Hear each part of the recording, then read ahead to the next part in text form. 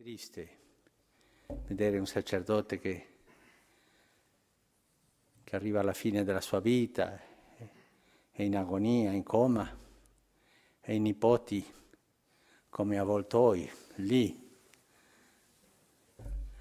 guardando cosa possono prendere.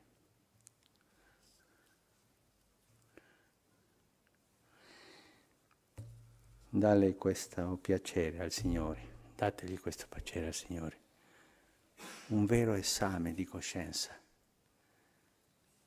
Signore, tu sei il mio Signore o, o questo come Rachele, questo terafin nascosto nel mio cuore,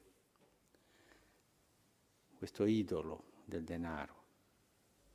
E siate coraggiosi, siate coraggiosi fate scelte. Denaro sufficiente, quello che ha un onesto lavoratore. Il risparmio sufficiente, quello che ha un onesto lavoratore. Quello è lecito, questo non è idolatria, ma è l'interesse. Che il Signore a tutti noi ci dia questa grazia della povertà cristiana.